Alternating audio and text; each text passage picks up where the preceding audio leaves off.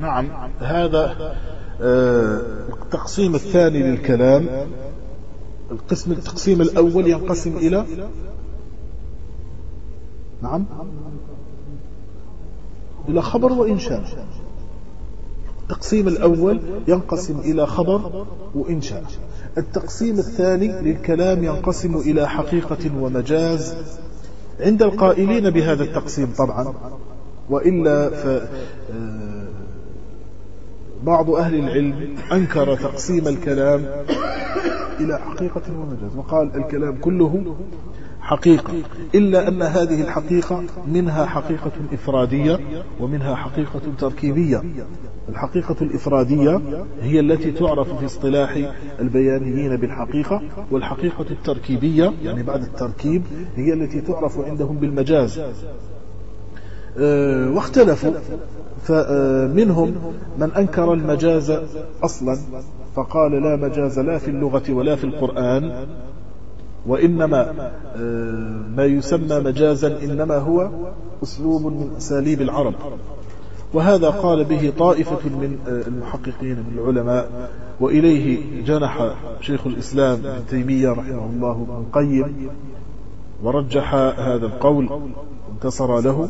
ومن العلماء من قال بأن المجاز ثابت في القرآن وفي اللغة وعلى هذا أكثر إن لم أقل كل الأصوليين والبلاغيين يقولون بأن المجاز يعني واقع في اللغة وفي القرآن. وبعض أهل العلم قالوا وهذه الطائفة الثالثة قالوا بأن المجاز نثبته في اللغة دون القرآن.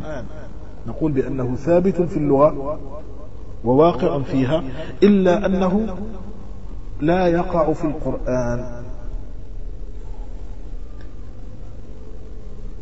طبعا وهذا المجاز آه، هو الذي استعمله المعطلة لا سيما المعتزلة. استعملوا المجاز في تأويل وتعطيل كثير من صفات الله تعالى وكثير من المسائل المتعلقة بالأمور الغيبية عموما أنكروها بسبب استعمالهم للمجاز. فهذا المجاز يعني وقع فيه الخلاف آه، قديما وحديثا بين أهل العلم في إثبات بين ناف ومثبت ومثبت مع التقييد في غير القرآن والسنة. وقال بعض العلماء يجوز أن نثبته في القرآن والسنة ما عدا آيات الصفات وما يتعلق بالأمور الغيبية. قالوا حينئذ لا نقول بالمجاز. لماذا؟ لأن المجاز مبناه على التشبيه. المجاز ما هو المجاز؟ الأصل فيه أنه مبني على التشبيه. الآن التشبيه منفي ليس كمثله شيء. المماثلة منفية. إذا لا مجاز. والمجاز إنما يكون بعد معرفة الحقيقة وإذا كانت حقيقة الله عز وجل وحقيقة صفاته غير معروفة فحينئذ لا يمكن أن نقول بالمجاز لتعذر معرفة الحقيقة. أنت لا تنقل الكلام من حقيقته إلى مجازه إلا إذا كان كنت عالما بالحقيقة. فإذا كنت جاهلا بحقيقة الشيء فحينئذ لا يمكن أن تقول بمجازه. الذي يهمنا هو آه، أن الكلام ينقسم يقسمه علماء الأصول إلى علماء البلاغة إلى حقيقة ومجاز. نعم. نعم. لا لا قال هذه بالنسبة لمن قالوا بأنه حتى في القرآن ونقول بالمجاز لكن في غير آيات الصفات وفي غير الأمور الغيبية.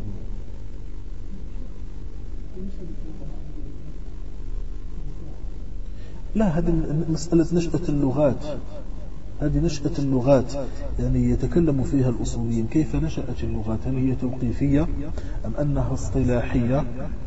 هذه يعني فيه خلاف بين العلماء. في نشأة اللغات عموما لا في العربية على وجه الخصوص في نشأة اللغات عموما. فهذه اللغات اختلفوا فيها. فبعض أهل العلم أو جماعة من أهل العلم قالوا بأن أصل اللغات توقيفي أي أنه من الله تعالى كما قال تعالى وعلم آدم الأسماء كلها فقالوا بأن اللغة أصلها توقيفي فلا يزاد فيه نعم. لا لا الآية قال وعلم آدم الأسماء كلها. قالوا بلفظ الكل. حتى ورد في تفسير ابن عباس أنه علمه القصعة والقصيعة يعني حتى التصغير التكبير والتصغير وعلمه في اللغة. قالوا فعلمه جميع اللغات. فكان آدم عليه السلام يعرف كل اللغات. مذهب الثاني. قالوا بأن منشأ اللغات هي المحاكاة والتقليد. أي أن الإنسان كان لا يتكلم. ثم طبعا أتكلم عن آه، أصل اللغات عند جميع الخلق يعني الذين تكلموا في هذا الباب ليس, ليس فقط خاصا بالمسلمين تكلم فيه غير المسلمين. فقالوا الإنسان كان لا يتكلم وإنما كان بالإشارة فقط. ثم جعل يحاكي ويقلد الأصوات. يقلد أصوات الحيوان يقلد أصوات الأشجار يقولون مثلا حفيف الشجر. عندما يمر الريح بالشجر قالوا هذا الصوت هو حفيف الشجر.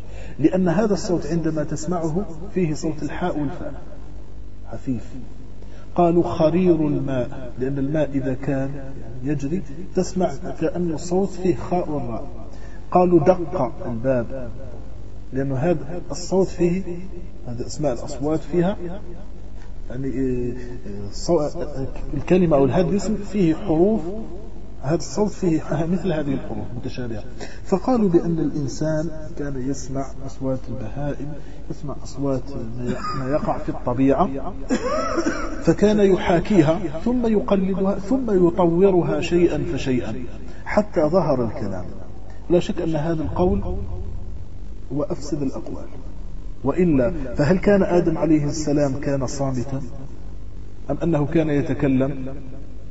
وطفقا يخصفان عليهما من ورق الجنة وناداهما ربهما ربنا ظلمنا أنفسنا وإن لم تغفر. كن هذا الحوار الذي جرى بين الخالق سبحانه وتعالى وبين آدم عليه السلام جرى بينهما حوار. وكان آه، يحاور آه، زوجه ولما نزل إلى الأرض كان أيضا يتكلم. نعم. كان يتكلم كل من كان على الأرض كان يتكلم. ولهذا فهذا القول هو أرضى الأقوال وأضعفها. عندنا قول ثالث وهو أن الأصل فيه أنه توقيفي أنه توقيفي إلا أنه الأصل في الكلام أنه توقيفي وأكثره اصطلاحي. يعني اصطلح الناس عليه. اصطلحوا على أن يسموا مثلا هذا الشيء كرسيا اصطلحوا على أن يسموا هذا الآلة المعينة ساعة. لأن اللغة تحتاج يعني بين على اختلاف الأزمنة والأمكنة تحتاج إلى التطور تتطور وتتغير بتغير الحوادث فينشئ الناس اصطلاحات يتخاطبون بها. فهذا الخطاب يحتاج إلى اصطلاح. نصطلح على أن نضع هذه الكلمة لتدل على هذا الشيء. وإلا فالأصل في الكلام أنه من الخالق سبحانه وتعالى فهو توقيفي. إلا أنه لا يعني أن كل كلمة يتكلم بها الإنسان لا يتكلم بها إلا بنص أو بوحي لا.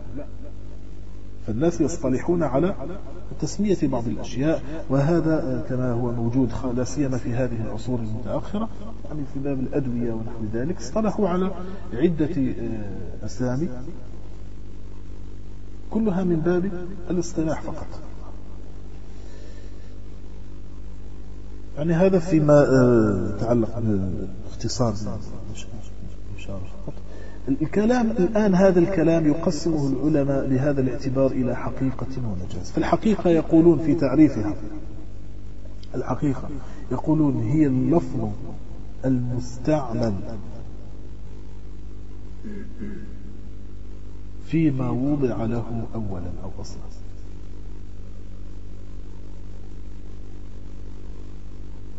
وعندكم في التعريف ماذا قال المؤلف في تعريف الحقيقة؟ نعم. والتعريف الثاني والمؤلف يختار هذا التعريف الثاني مع أنه قال أخره في الذكر وقال وقيل. لكن اختار هذا التعريف. لماذا؟ لأنه فيما بعد سيقسم الحقيقة إلى ثلاثة أقسام. وذلك إنما يكون على التعريف الثاني لا على التعريف الأول. على التعريف الأول لا تنقسم الحقيقة. حقيقة واحدة. واضح؟ سيأتي الكلام إن شاء الله. وش يقول في التعريف الثاني؟ نعم استعمل فيما اصطلح عليه من المخاطبة. أو كما تقدم اللفظ الذي يستعمل أو يستعمل اللفظ المستعمل فيما وضع له أولا. مثل كلمة أسد. هذه الكلمة أسد وضعتها العرب للدلالة على الحيوان المفترس المعروف. فإذا أطلق هذا اللفظ فالمراد به هذا الحيوان فهو حقيقة فيه.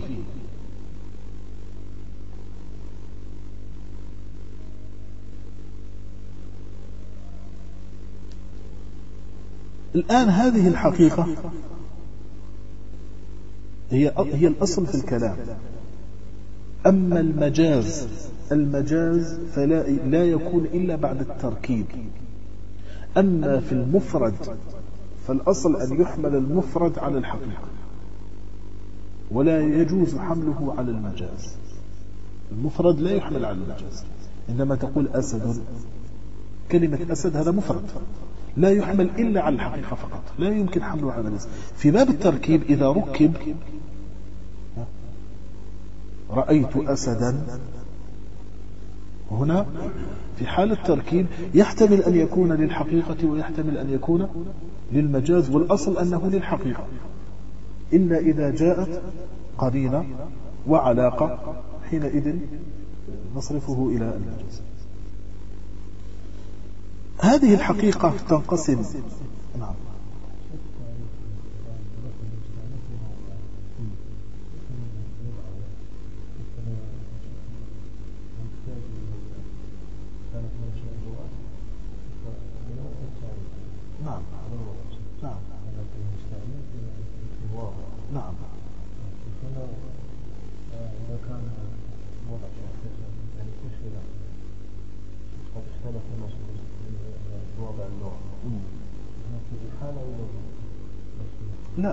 المراد بالوضع لا الوضع هنا بناء معناه الاصطلاح. يعني العرب اصطلحوا على وضع هذه الكلمة للدلالة على هذا الحيوان.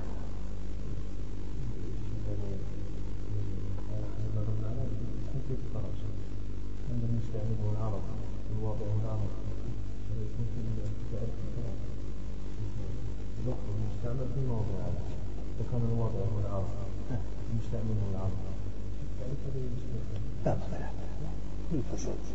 لفظ هو نعم. هو لفظ هو اللفظ هذا اللفظ هذا اللفظ اللي هو الهمزة والسين هذه الحروف. أخذها العرب واستعملوها للدلالة على هذا الشيء المعين هي هذه الحروف تركيبها. ركبت بهيئة معينة بهذا الترتيب الهمزة ثم السين ثم الدال واصطلحوا على تسمية هذا الحيوان سموه بهذه الحروف المجموعة. نعم. يعني هذا أول ما وضعت العرب الكلام وضعت كلمة أسد لهذا الحيوان.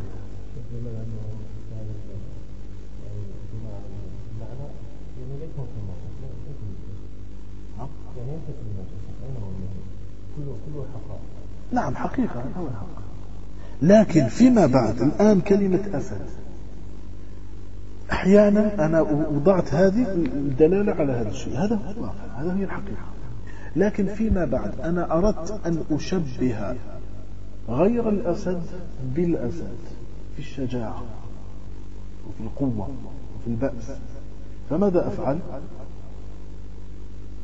أستعمل إما استعارة وإما إما أن أحذف المشبه به اللي هو الأسد وآخذ منه شيئا من بعض لوازمه فأنسبها إلى المشبه. وإذا المنية أنشدت أظفارها ألفيت كل تميمة لا تنفع. هل المنية اللي هي الموت عندها أظفار؟ شبهها بحيوان مفترس. وإذا المنية أنشبت أظفارها مع أنها ليس لها أظفار. ألفيت كل تميمة لا تنفع يعني هنا استعارة. أه وين المشبه به المشبه به؟ غير موجود. ما قالش وإذا المنية يعني كالأسد ولا حذف كل المشبه به وذكر بعض صفاته اللي هي الأنياب. اللي هي الأظفار ولا الأنياب ولا نحو ذلك. هذه شيء من اللوازم. أه فهنا يصير إما من باب المجاز ولا من باب الاستعارة. فينقل الكلام. أنت لا تقصد قل رأيت أسدا يتكلم في الناس. الأسد يتكلم؟ ولا رأيت أسدا يعني يجاهد ويقاتل الأعداء هل الأسد هنا مراد به الأسد الحقيقي؟ لا. المقصود به إنسان يشبه الأسد في بعض صفاته. فهنا نقول بأنه الرجل مجاز ليس المقصود به الأسد الحقيقي الذي وضعت العرب هذا الاسم للدلالة عليه. واضح؟ الآن آه هذه الحقيقة تنقسم على التعريف الثاني الذي ذكره المؤلف تنقسم إلى ثلاثة أقسام.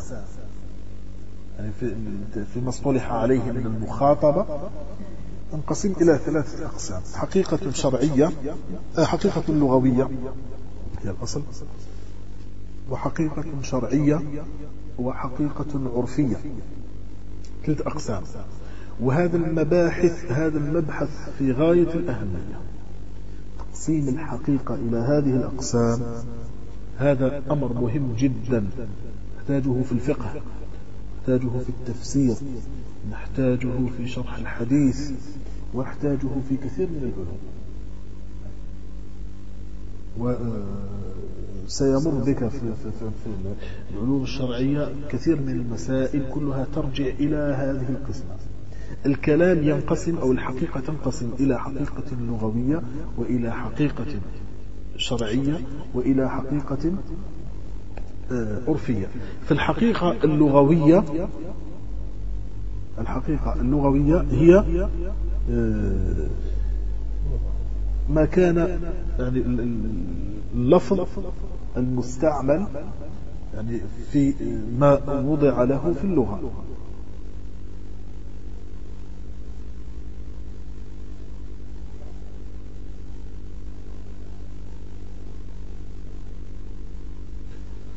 كما تقدم في المثال استعملوا ألفاظ معينة.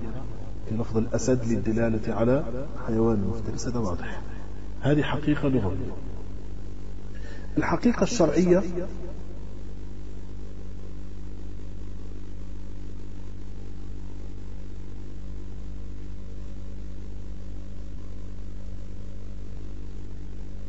هي الألفاظ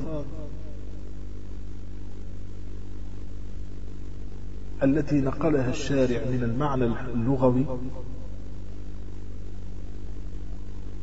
إلى المعنى الشرعي. طبعا هنا يأتي الخلاف بين الجمهور وبين الحنفية.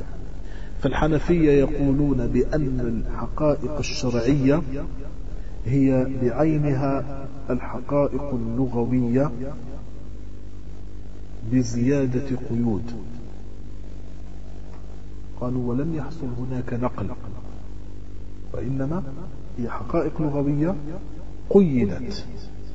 أما الجمهور فيقولون بأن الحقائق الشرعية هي أصلها حقائق لغوية لكنها نقلت. هذا اللفظ نقل إلى معنى أو إلى معان شرعية. مثل كلمة الصلاة. الصلاة في اللغة ما هي؟ هي الدعاء. وصل عليهم إن صلاتك سكن لهم. وقد يطلق الصلاة يراد بها الثناء أيضا. إن الله وملائكته يصلون على على النبي. فهذا هو معنى الصلاة في اللغة. لكن في الشرع ما المراد بها؟ هي العبادة المخصوصة معروفة. فالآن هذه الصلاة يختلف معناها بين الحقيقة الشرعية وبين الحقيقة اللغوية. الآن هذه الصلاة أصلها في اللغة هي الدعاء. لكن جاء الشارع فنقلها من هذا المعنى إلى معنى آخر الذي هو العبادة الأقوال والأفعال المخصوصة المفتتحة بالتكبير بالتسليم آه كذلك الزكاة أصلها في كلام العرب من نمو. هذا هو معناها. زكاة الزرع نعم. فجاء الشرع فنقلها من هذا المعنى إلى معنى آخر وهو إخراج مال محدود بشروط محددة. كذلك الحج في اللغة هو القصد إلى معظم. فجاء الشرع فنقله إلى القصد إلى بيت الله الحرام لأداء منسك هذا المنسك الذي هو الحج. وهكذا في الألفاظ الشرعية أو الحقائق الشرعية هي أصلها حقائق لغوية. جاء الشارع فنقلها. وبعض العلماء قال لا هي نفسها الحقائق اللغوية زيدت عليها بعض القيود. ومن هنا ظهر الخلاف بين الحنفية وبين الجمهور في مسألة الإيمان. هل هو حقيقة لغوية أم أنه حقيقة شرعية؟ فالحنفية قالوا هو حقيقة لغوية. ولذلك قالوا الإيمان هو التصديق. ثم ترتب على هذا الخلاف في الأعمال. هل هي داخلة في مسمى الإيمان أم لا؟ فبناء على قول الحنفية إنها حقيقة شرعية حقيقة لغوية قالوا بأن الإيمان الأعمال ليست داخلة في مسمى الإيمان. وعلى القول بأنها منقولة لفظ الإيمان منقول ليس حقيقة لغوية وإنما هو حقيقة شرعية وأنه منقول. حينئذ يكون قول هذا القول هو الموافق لما عليه الجمهور وهو أن الإيمان العمل داخل في مسمى الإيمان. نعم. هذه الحقيقة الشرعية. عندنا الحقيقة الثالثة وهي الحقيقة العرفية. طبعا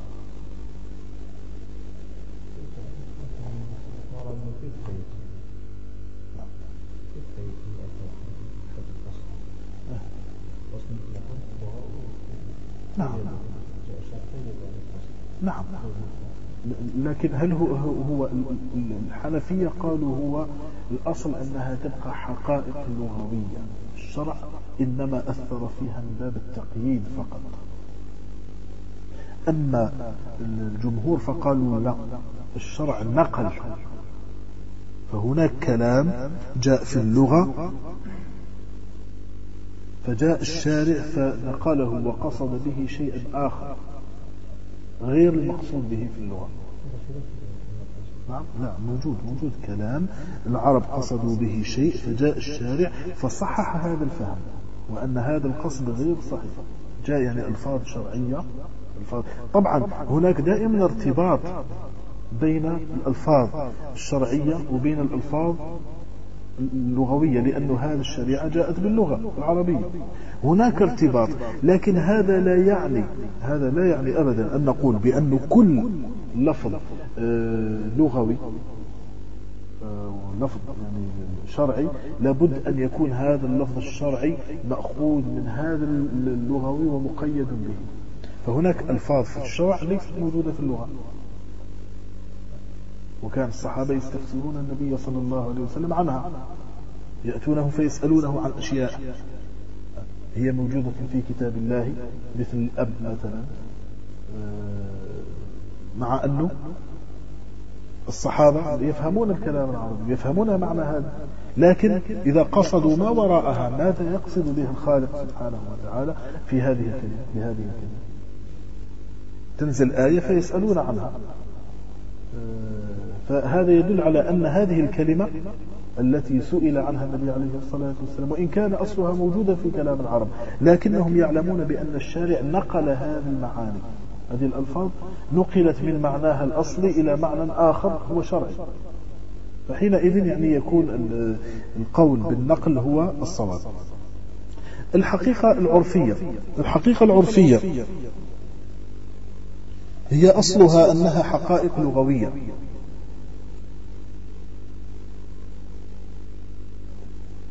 فقيدها الناس بأعرافهم وحددوها بهذه الأعراف.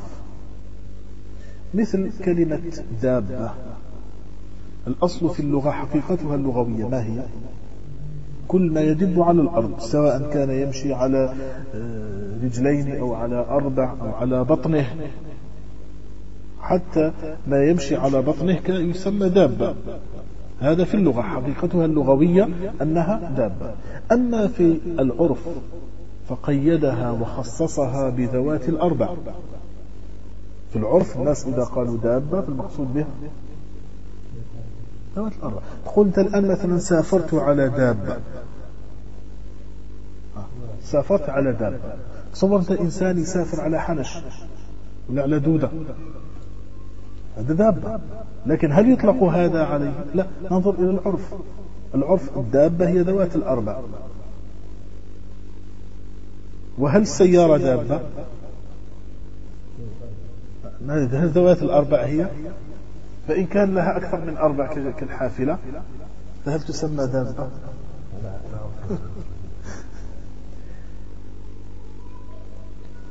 فالعرف قيد هذا العموم قيده بشيء معين. هذا العرف ينقسم أيضا إلى قسمين عرف عام وعرف خاص.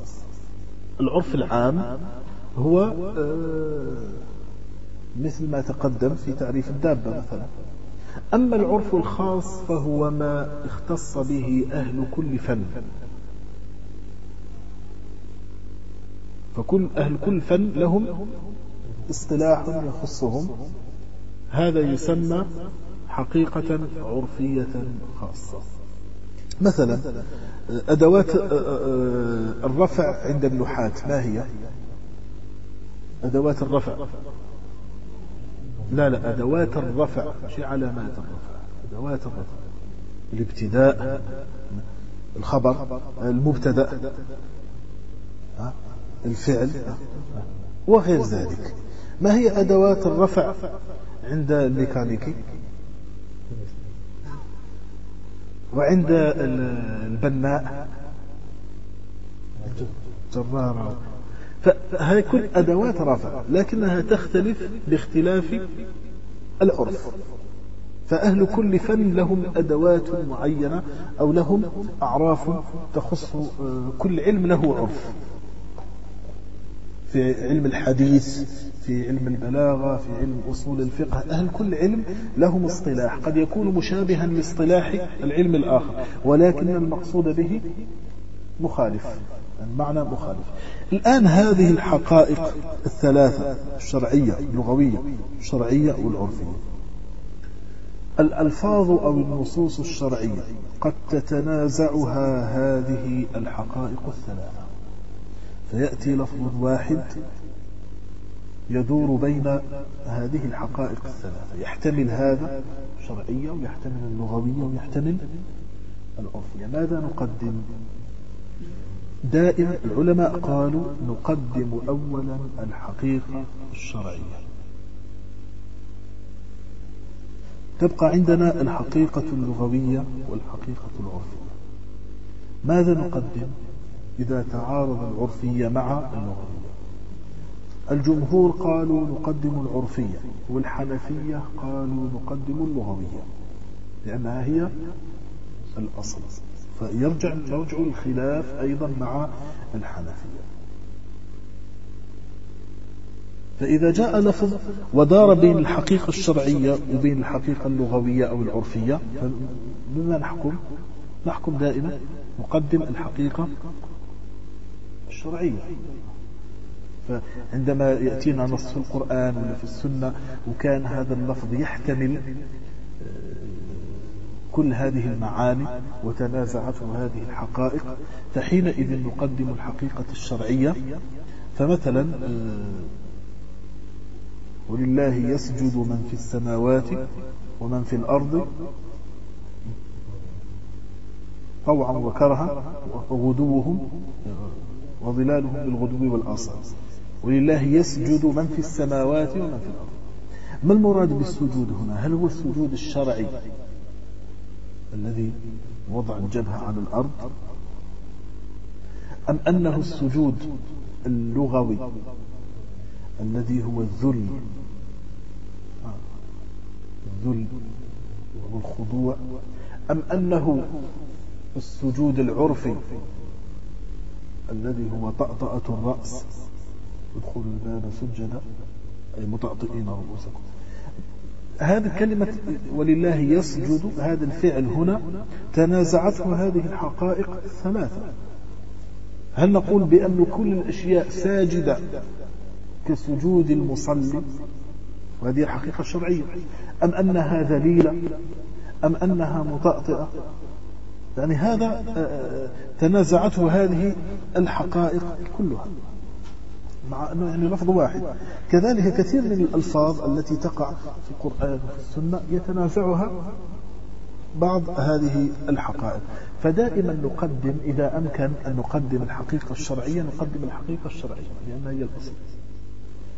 ثم بعد ذلك تأتي الحقيقة العرفية عند الجمهور ثم اللغوية وعند الحنفية اللغوية ثم العرفية. ويترتب على هذا الخلاف بين الحنفية والجمهور في جملة من المسائل.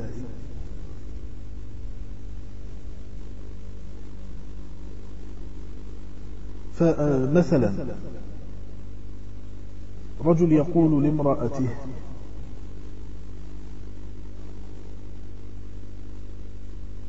يقول إن هي أكلت لحما فهي طالق.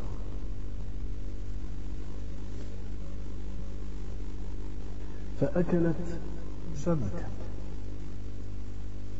مشكلة هل السمك لحم ولا مش لحم؟ لحم. ففي القرآن لتأكلوا منه لحما طريا. نعم لتأكلوا منه يعني من البحر لحما فسماه لحما. هي الآن إن أكلت لحما فهي طالق فراحت هي أكلت سمكا. نعم.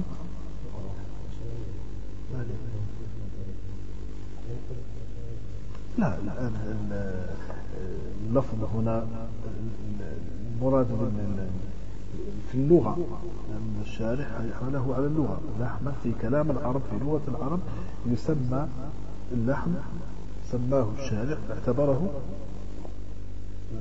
لحم السمك اعتبره لحما نعم مرة أنا ما ما هنا من باب الامتنان. من باب الامتنان. هنا أن يمتن على الخلق آه، بهذه النعم. الآن آه، هذا اللحم في العرف لحم السمك في, في اللغة يسمى لحما. لكن هل هو في العرف يسمى لحما؟ تروح أنت عند يعني بائع تقول له اطلب منه أن يبيعك لحما فبما يأتيك؟ اللحم لحم الغنم. ولا يجي لك بالسمك؟ لا هو يفهم من اللحم اللحم المعروف الذي تعارف الناس عليه. وإن كان في اللغة يطلق على السمك بأنه لحم. لكن لا يسمى لحما في العرف وإنما يسمى سمكا. تقول أكلت سمكا مش أكلت لحما. إلا بالتقييد. أكلت لحم سمك. فالآن هي أكلت السمك. عند الجمهور لا تطلق. عند الحنفية تطلق. علاه لأن الجمهور يقدمون العرفية على اللغوية. والحنفية يقدمون اللغوية على العرفية. فيقولون ما دام أنه في اللغة لحم يقع الطلاق الجمهور يقولون لا ننظر إلى العرف وإلى قصد المتكلم. المتكلم لا شك أنه قصد باللحم. اللحم المعروف. لأنه لم يذهب إلى لحم السمك وما قصده أصلا بنيته. الآن هو ما نوى لحم السمك. ولذلك فقالوا نحمل الكلام على الحقيقة اللغوية آه الحقيقة العرفية. ولا شك أن مذهب الجمهور هنا أقوى. صح. أن نحمل الكلام على العرفية أن نقدم العرفية على اللغوية. وطبعا وهنا أيضا يعني يتكلم العلماء في مسائل في باب الطلاق يتكلمون عن جملة من المسائل. مثلا في بعض أعرافنا المرأة تخاطب في باب الضمير بأنت. والمذكر يخاطب أنت. فيترتب على هذه مشكلة أيضا. يقول زوجته أنت طالق. مذهب الحنفية لا تطلق. لأنه أنت طالق هذا غير صحيح. فلا يقع الطلاق عند الحنفية. أنت طالق. أنت طالق عند الجمهور يقع الطلاق لأنهم ينظرون إلى العرف. عرف هذه البيئة أنت تقع موقع أنت. إذا يقع الطلاق. لكن عند الحنفية وقفوا على اللفظ اللغوي. أنت طالق هذا لا يصح في كلام العرب. المقصود هو أنت. لكن الجمهور قالوا بأن الطلاق يقع, يقع بناء على القصد. لكن لا على سبيل الإطلاق. قالوا يعني استثناء قال إلا إذا أراد أن يهددها وكان عالما باللغة. يعني هو يعرف اللغة وحب يهددها على طريقة الحنفية يعني على استعمال يعني هذه الألفاظ. قول بأنه آه، يعلم لو قال أنت طالق يقع الطلاق. فهو يستعمل على مذهب الحنفية يستعمل أنت يقدم الحقيقة اللغوية. قالوا في هذه الحالة فيها تفصيل. يعني إذا كان ما ما لم يقصد الطلاق وإنما قصد التهديد وجاء بهذا اللفظ هذا فيه خلاف عند الفقهاء آه، في الفروع. لكن المهم هو ثمرة الخلاف أو أثر الخلاف يظهر في تقديم العرفية على اللغوية وأنه يترتب على ذلك جملة من المسائل. هذا في تقسيم الكلام إلى أو الحقيقة إلى ثلاثة أقسام إلى حقيقة لغوية وحقيقة شرعية وحقيقة آه، عرفية. ثم ننتقل إلى المجاز. ما هو المجاز؟ المجاز يعرف في الاصطلاح بأنه اللفظ آه، المستعمل في غير ما وضع له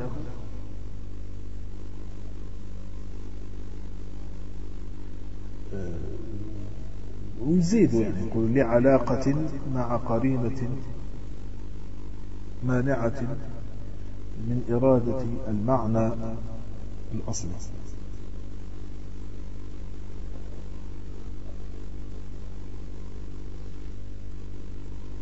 وباختصار نقول بأن هذا المجاز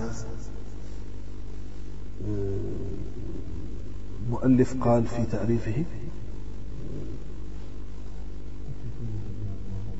نعم ما تجوز به عن موضوعه أو تعريف ثاني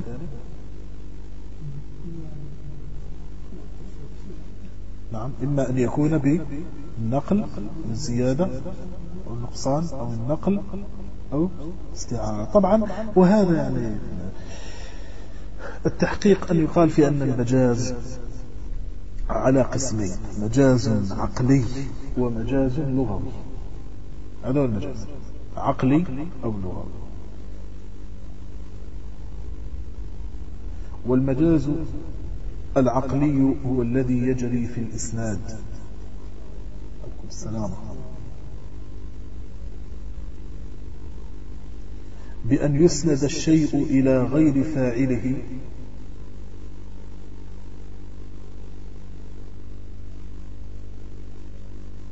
في الظاهر. وله أمثلة. تقول مثلا أنبت الربيع البقل أو أنبت الماء العشب. من الذي أنبت العشب؟ نعم. البقل. بقول من هو المنبت الحقيقي؟ هو الله شفى أو شفى الطبيب المريض. من الذي شفى المريض؟ من هو الطبيب؟ لا. الشافي هو الله. لكن أسند أسند هذا المجاز يسمى المجاز العقلي أو الإسنادي.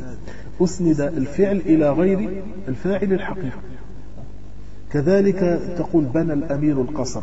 هل الأمير بنى القصر بيده؟ لا. بناه العمال. لكننا أسندنا البناء إليه بناء على أنه كان سببا في بنائه. فهو من باب إسناد الشيء إلى سببه. إسناد الشيء إلى سببه. وإلا فإن الفاعل الحقيقي هو الله سبحانه. فهنا هذا المجاز هو مجاز في الإسناد في إسناد الشيء. في باب الإسناد فقط.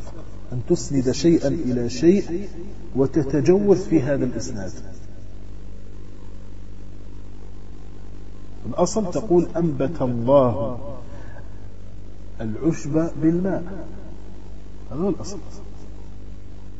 فتتجوز في إسناد الشيء إلى شيء وتقول أنبت الماء العشب. هذا الإسناد هو الإسناد العقلي. وعندما يطلق لفظ المجاز لا يقصد به هذا المعنى.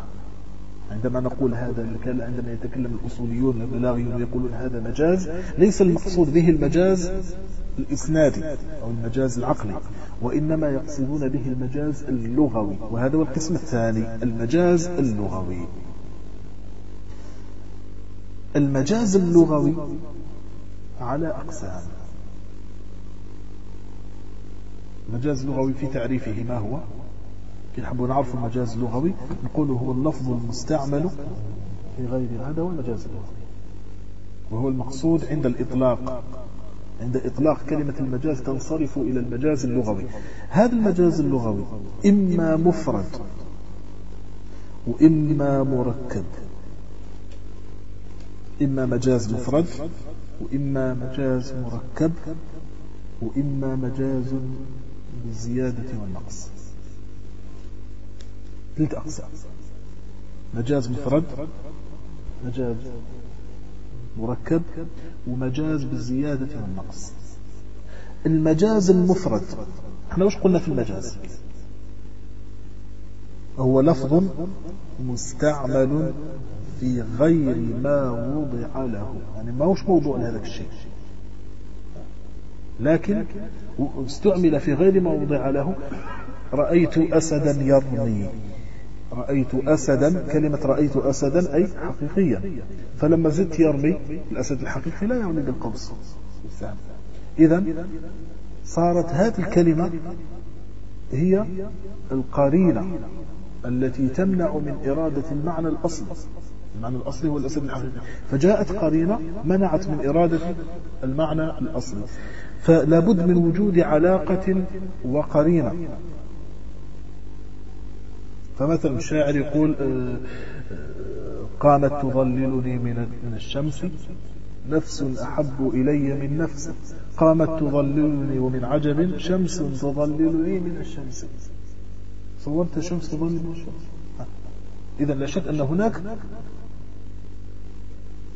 استعمال لللفظ في غير موضوعه. هناك شمس واحدة لا شمسان فاستعمل أحد هذين اللفظين في غير معناه الحقيقي وهذا هو التجوز أو المجاز بالاستعارة الآن هذا المجاز المفرد نتكلم عن المجاز المفرد هو اللي همنا لأنه هو المقصود هنا. المجاز المفرد. قلنا في التعريف اللفظ المستعمل في غير موضع له. نعم؟ ليه لا. لعلاقة مع قرين. الآن هذه العلاقة نتكلم عن العلاقة. العلاقة إما مشابهة أو غير مشابهة. نقول العلاقة يعني بين اللفظ أو المعنى الحقيقي والمعنى المقصود الجديد المجازي إما الحقيقة إما المشابهة أو غير المشابهة. إن كانت العلاقة هي المشابهة فهي استعارة. إن كانت غير المشابهة فهي المجاز المرسل خلاص. والقرينة فيما بعد إما لفظية وإما حالية. يعني تعرف من حال الكلام وإما اللفظية تكون مذكورة في اللفظ.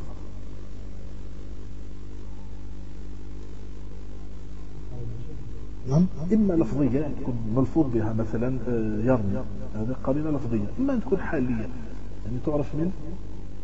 حال وسياق الكلام يعني نفهم ونعرف القرينة واضح الآن المجاز. الآن هذا المجاز المرسل هو الذي يعني له يعني آه، آه، علاقات متعددة. وهي السببية والمسببية والحالية والمحلية واعتبار ما كان واعتبار ما يكون تعرفوا هذه العلاقات. ربما درستوها في السابق في البلاغة. نعم. نعم هذا هذه علاقات المجاز المرسل. هناك يعني عدد من العلاقات المعروفة ثمانية وأوصلها يعني بعضهم إلى أكثر إلى خمسين علاقة. لكن هذا يعني فيه التوسع كبير جدا. نكتفي يعني يكتفى في علم البلاغة بذكر ما تقدم وهي ثمانية تكفي هي المهمة فهذا المجاز إن كانت العلاقة المشابهة فهو مجاز مرسل إن كانت العلاقة غير إن كانت العلاقة غير المشابهة هو مجاز مرسل إن كانت العلاقة هي المشابهة كل استعارة. إن كانت العلاقة غير المشابهة ما هي غير المشابهة؟ إما سببية أو مسببة هذه غير المشابهة. يعني ما كاش تشابه بين المعنى الحقيقي والمعنى المجازي. يعني اللفظ هذا بين المشبه والمشبه به بينهما علاقة غير علاقة التشابه. فإن كانت العلاقة علاقة التشابه نقول الاستعارة كما تقدم ثم الاستعارة تنقسم إلى مكنية وإلى تصريحية. وأيضا المجاز المركب فيما بعد ينقسم إلى آه، استعارة تمثيلية وإلى مجاز مركب مرسل. وهذا أيضا لا يهمنا. نحتاج نحن إلى المجاز المفرد. وإلى المجاز بالزيادة والنقص. هذا هو اللي أشار إليه المؤلف. أن مجاز بالزيادة ومجاز بالنقص ومجاز مفرد. المجاز المفرد يدخل فيه المجاز المرسل ويدخل فيه الاستعارة. وأما النوع الثالث أو القسم الثالث من المجاز فهو المجاز بالنقل آه، بالنقص أو بالزيادة. نعم أقرأ يعني ممكن أقرأ المتن يعني ربما خرجنا نعم أقرأ في ده بالحقيقة. نعم. نعم في الحقيقة ما بقي في الاستعمال على موضوعه وقيل ما استعمل في مصدرك عليه من المخاطرة والمجاز ما تجوز عن موضوعه الحقيقة إما لغوية وإما شرعية وإما عرفية نعم هذا التقسيم يرجع إلى ترجيحه إلى القول إلى التعريف الثاني للحقيقة لماذا؟ لأنه بناء على التعريف الأول اللي قال وما بقي على على في الاستعمال على بناء على ذلك تكون الحقيقة الشرعية والعرفية من المجاز. واضح؟ بناء على التعريف الأول. الحقيقة لا تنقسم إما حقيقة وإما مجاز. فالحقيقة الشرعية والحقيقة العرفية على التعريف الأول لا تسمى حقيقة وإنما تسمى مجازا. عند التعريف الأول. فاختيار المؤلف وتقسيم المؤلف الحقيقة إلى ثلاثة أقسام يدل على أنه اختار القول الثاني التعريف الثاني.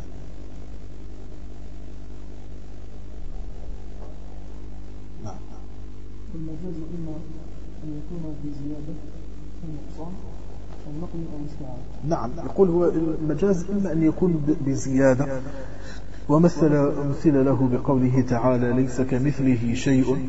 قالوا فالكاف هنا زائدة لتوكيد النفي. ليس المقصود بالزيادة هو عدم الإفادة لا المقصود بالزيادة هو التوكيد. كما في هذا الموضع. قالوا الكاف هنا الأصل ليس مثله شيء فجاءوا بالكاف جاء بالكاف لتوكيد فقالوا هذا مجاز بالزيادة قالوا وقد يكون المجاز بالنقص مثل واسأل القرية التي كنا فيها والعيرة التي يعني واسأل أهل القرية. فمجاز بحذف المضاف مع إقامة المضاف إليه مقامه. فقالوا هذا مجاز بالحذف بحذف المضاف أو بالنقص. تقدم الكلام عن هذا. أو بالنقل. قال بالنقل أيضا. مجاز بالنقل مثل كلمة الغائط. الغائط الأصل فيها المكان المنخفض بين مرتفعين وكان العرب كانوا يقصدونه لقضاء حوائجهم ابتعادا واستتار ابتعادا عن الأنظار واستتارا. كانوا يقصدون هذه الأماكن البعيدة. فسمي ما يخرج من البدن من الأذى بسبب باسم المكان الذي كان العرب يقصدونه عند قضاء الحاجة. طبعا وهذا من أدب العرب وتأدبهم في الكلام أنهم يستعملون مثل هذه الألفاظ من باب يعني المحافظة على الأدب يعني يذكرون في المحل ويقصدون فقال هذا مجاز بالنقل. وإن كان كثير من العلماء يقولون هذا ليس من باب المجاز وإنما هو من باب الحقيقة العرفية لأن العرب تعارفوا على واصطلحوا على أن يضعوا يسموا هذا المكان أو هذا الشيء الخارج من البدن باسم المكان الذي يقصد بإخراج هذا الأذى فتكون هذا المجاز يعني هو قال بأنه بالنقل يعني لفظ وضع لشيء معين ثم نقل ليوضع في معنى آخر. وكذلك الاستعارة والاستعارة هي هو هو تشبيه استعارة هو تشبيه آه، حذفت منه الأداة.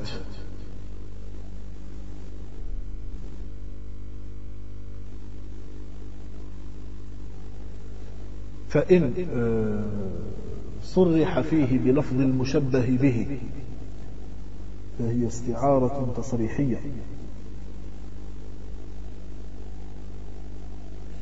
وإن حذف المشبه والمشبه به ورمز له بأحد ببعض لوازمه فهي استعارة مكنية.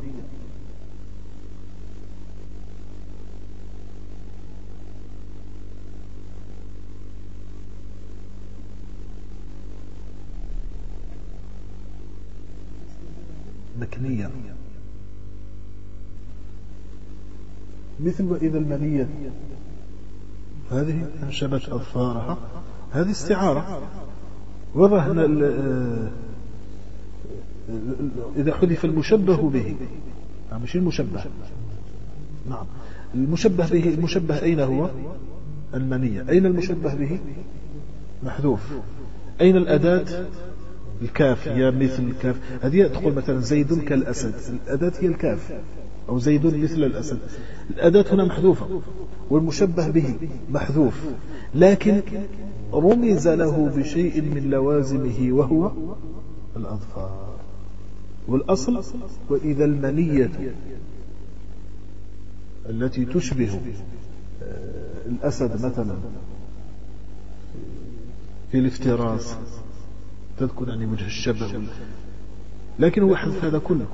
قال وإذا المنية أنشبت أظفاره. هنا ماذا حصل؟ حذف المشبه به وحذف أداة تشبيه ورمز للمشبه به بشيء من لوازمه.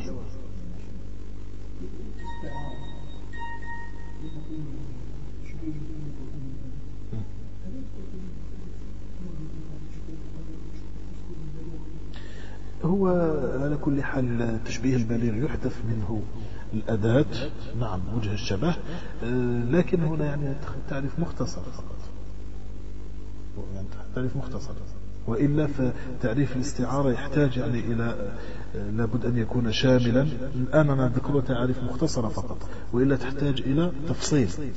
تفصيل في ذلك آه، محله في البلاغة إن شاء الله آه، هذا فيما يتعلق باختصار شديد فيما يتعلق بالمجاز. فالمجاز إما آه، أن يكون عقليا أو إسناديا بأن نسند شيئا إلى غير فاعله الحقيقي من باب إسناد الشيء إلى سببه كما تقدم في بنى الأمير القصر ذلك. وإما أن يكون هذا المجاز لغويا وهو المقصود عند الكلام وعند الإطلاق. وهذا المجاز لغوي لابد له من علاقة ولابد له من قرينة. وإلا فاللفظ لا يحمل إلا على الحقيقة إلا بوجود علاقة وقرينة. هذه العلاقة إن كانت المشابهة بين المشبه والمشبه به إن كانت علاقة بينهما هي المشابهة فهي استعارة. إما فيما بعد تصريحية ولا مكنية. إن كانت العلاقة غير المشابهة فهنا نقول هي من باب المجاز المرسل. ثم نحدد علاقة هذا المجاز المرسل يعني العلاقة بين المعنى الأصلي وبين المعنى, المعنى الوضعي والمعنى المجازي. وإما أنه مجاز بالزيادة والنقص. بزيادة شيء كلمة أو نقصان كلمة. ثم آه، إما أن يكون أيضا المجاز ب أن يكون مركبا. وهذا يكون في الكلام يعني بين يكون مركب من كلمتين. وحينئذ إما أنه مجاز آه، مركب مرسل أو استعارة تمثيلية. آه، وإن كان هذا لا يدخل في ما نحن فيه في أصول الفقه.